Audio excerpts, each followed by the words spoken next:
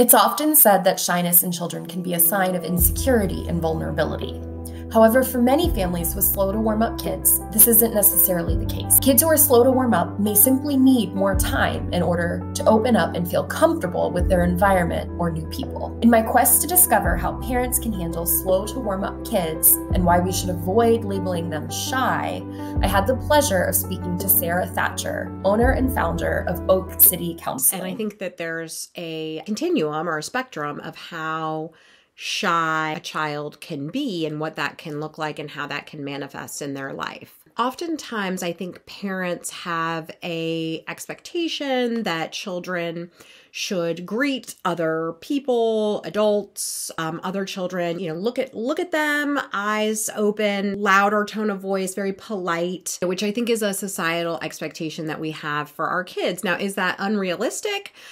Not necessarily. It depends on the child. If there is a child or you have a child who is prone to being kind of anxious, sometimes these situations, especially these social situations, can be anxiety provoking. And so I think part of what we want to think about as parents, what is going to be in the best interest of this child, not what is going to be the most polite thing or what are the societal expectations here. If if there is a lot of pressure and pushing a child to talk, the more pressure there is and the more energy and attention and focus there is on their shyness or on their uh, lack of communication, the worse it's going to be. The more it kind of brings this to light, it, the more attention it gives it. So when we have a situation where we want our child to be more communicative, um, one of, I think, like the worst things we can do is to push the child or to shame the child or to put a lot of attention into this, this situation. I think a better way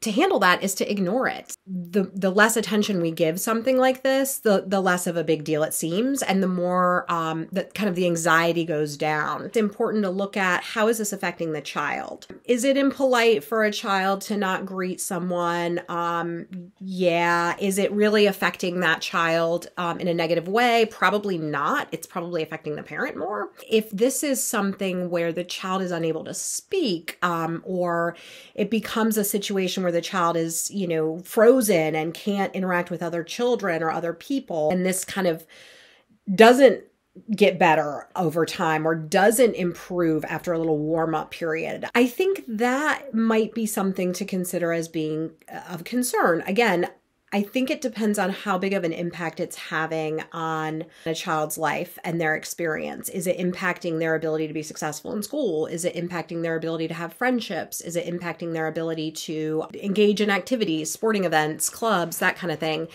If so, then, you know, yeah, it could be that this is something to be addressed or to see a therapist about. There are times where children can be very anxious, and in those situations, they can shut down and not even speak at all. We want to be careful not to shame any children that are that are kind of experiencing this because they already might feel kind of an internal sense of shame and pointing this out or, or kind of making it into something that's you know detrimental about them could could really produce some some feelings of shame and and feeling like they kind of can't do the right thing. I think approaching a child with shyness, again, ignoring it, not making a big deal out of it, and kind of seeing if it dissipates when you don't put a lot of energy into it.